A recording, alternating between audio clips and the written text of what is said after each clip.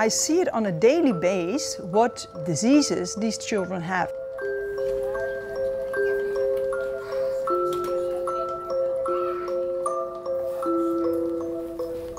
My drive has always been to translate what I see in children to science and to develop new, better treatments.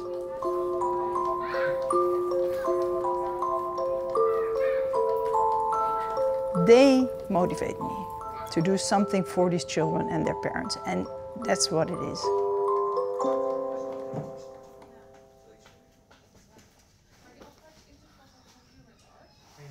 I have a couple of viruses that I focus on. HIV, cytomegalovirus, and then uh, uh, uh, picornaviruses. They are sort of polio viruses, you could call them. And these viruses, they have, they elicit severe disease of the brains. Affecting a child's brain has implications for many, many, many years. So it is crucial to do something about these infections at young age because then you have, they have a sort of more or less normal life ahead. What I would like is to reduce the time between the design or the development of a new drug and the use in children. Let's say one, two years.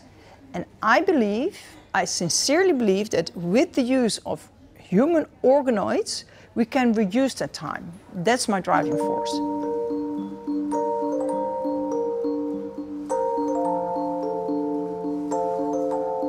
What we do in the lab is that we make a simple version of human organs.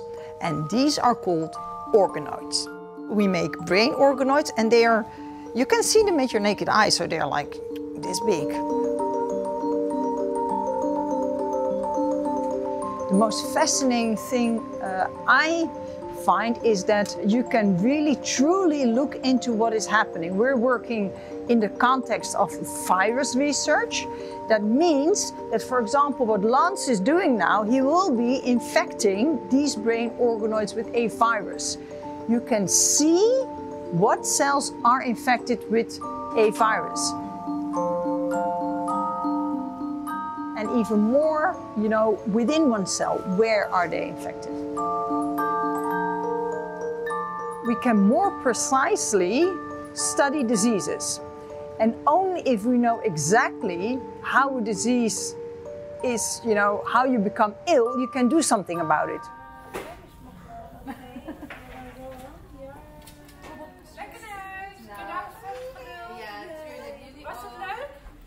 For new treatments or new drugs to be developed for children, it takes on average 10 years or so.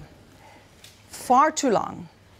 And the reason for that, in my opinion, is that before drugs are being approved for children, they need to go through these phases.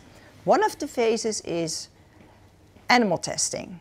In my opinion, as a virus specialist, it does not make sense to use animal models because we feel that the predictive value of organoid-based results to the patients are much higher than you know, animal models.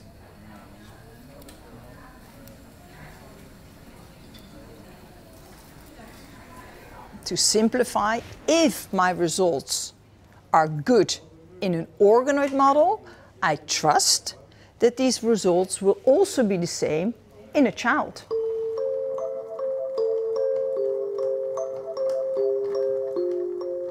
If only I could increase the velocity of new drugs that are being developed in the lab to the patient. It's going to save lives for sure.